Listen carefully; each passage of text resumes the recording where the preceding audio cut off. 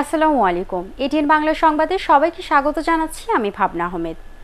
খুলনায় করোনা চিকিৎসার জন্য নির্ধারিত হাসপাতালে জরিনা বেগম নামে এক বৃদ্ধার মৃত্যু হয়েছে। মঙ্গলবার সকাল থেকেই ওই বৃদ্ধার শারীরিক অবস্থার অবনতি হতে থাকে।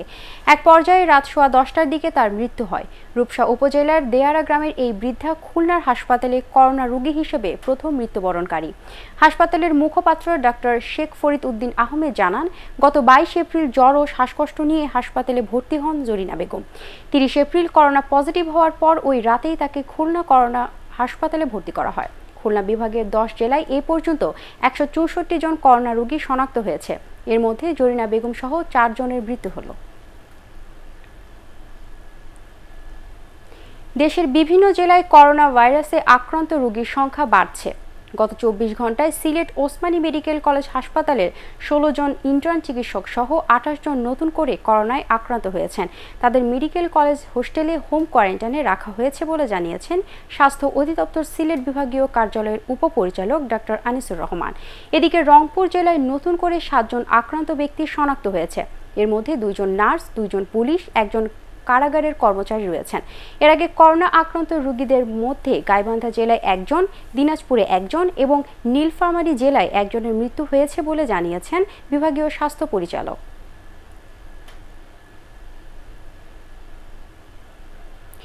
জামালপুরে বেসরকারি একটি হাসপাতালে ব্যবস্থাপনা পরিচালক, তার মা মেয়ে সহ পাঁচজন করোনা ভাইরাসে আক্রান্ত হয়েছেন। এ নিয়ে জেলায় আক্রান্তের সংখ্যা দাঁড়াল একাশি জনে।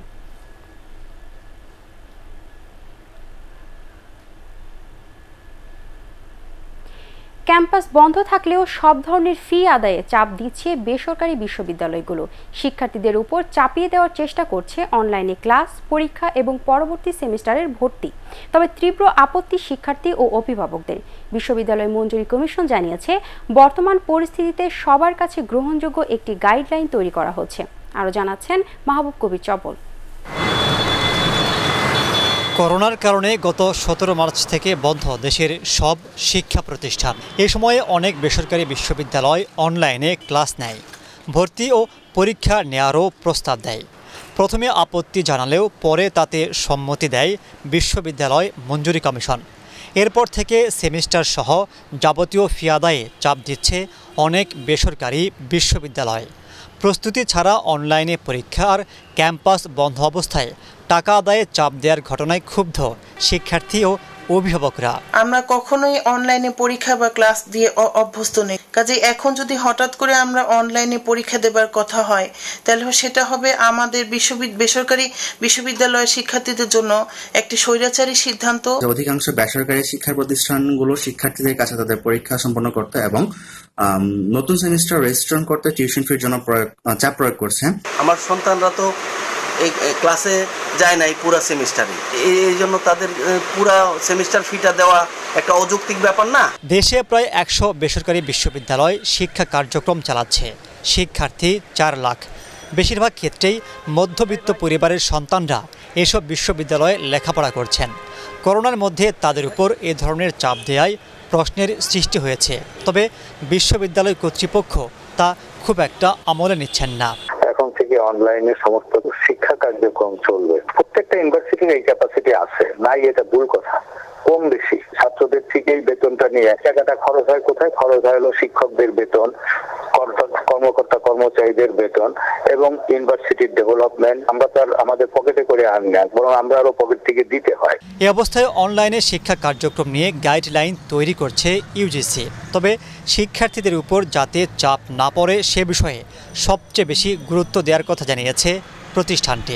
আমরা চেষ্টা করছি যে এমন একটি গ্রহণযোগ্য গাইডলাইন দিতে, যাতে অনলাইনে যে সমস্ত শিক্ষার্থীদের সক্ষমতা রয়েছে ক্লাস করতে পারবে, আর যারা অনলাইনে ক্লাস করতে পারবে না, তারও তাদেরও যেন শিক্ষা জীবন বিঘ্নিত না আশা করছি এই সপ্তাহের মধ্যে এই গাইডলাইন তৈরি হয়ে যাবে। কোনোভাবেই কোনো বিশ্ববিদ্যালয় কর্তৃপক্ষ এই সংকটকালীন সময়ে কোনো ছাত্রছাত্রীদেরকে সেশন ফি দেওয়ার জন্য চাপ প্রয়োগ করা হবে না। আমাদের গাইডলাইনে আমরা বিশ্ববিদ্যালয় মঞ্জুরি কমিশনের পক্ষ থেকে এই বিষয়টিও সুস্পষ্ট করে বলা হবে। উন্নত দেশে অনলাইনে শিক্ষা কার্যক্রম চালু হয়েছে। দেশেও পর্যাপ্ত প্রস্তুতির পর এ পদ্ধতি চালুর পরামর্শ গবেষকদের। মাহবুব কবির চপল, এটিএন বাংলা, ঢাকা।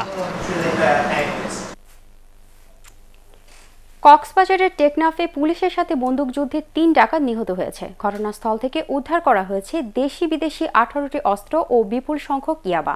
পুলিশ জানায়, মধ্যরাতে হিলা এলাকার রঙ্গিকালী নামের পাহাড়ে ডাকাতের আস্তানায় অভিযানে গেলে ডাকাতরা পুলিশকে লক্ষ্য করে গুলি চালায়। এতে পুলিশের পাঁচজন সদস্য আহত হয়। পরে পুলিশও পাল্টা গুলি চালালে ঘটনাস্থলে তিন ডাকাত নিহত হয়। আন্তর্জাতিক করোনা ভাইরাসে অ্যান্টিবডি তৈরির দাবি করেছে ইসরায়েল। দেশের প্রধান জীবাণু গবেষণা institute the Israel institute of biological রিসার্চের আইআইবিআর বিজ্ঞানীরা এই সাফল্য অর্জন করেছেন বলে দাবি করেছেন দেশটির প্রতিরক্ষা মন্ত্রী নাফতালি বেনেট্টো।